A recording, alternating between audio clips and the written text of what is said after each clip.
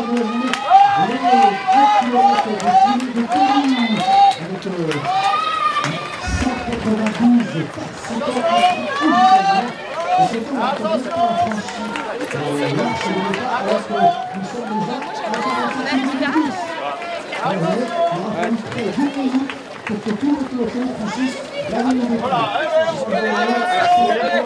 les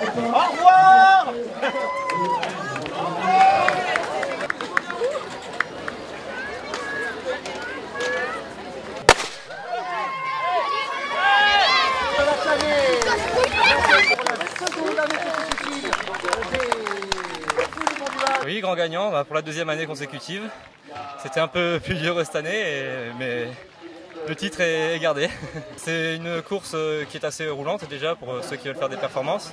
Bon, aujourd'hui c'est pas tellement le cas, mais bon, c'est pas grave. Le principal c'était aussi la gagne. C'est aussi une course euh, nature, comme on les aime, et surtout aussi une course qui, fait des actions pour, l'association Lutte. Et ça, c'est important aussi, les courses qui donnent pour les associations. Donc c'est toujours un plaisir de venir et de, et de donner pour ces associations.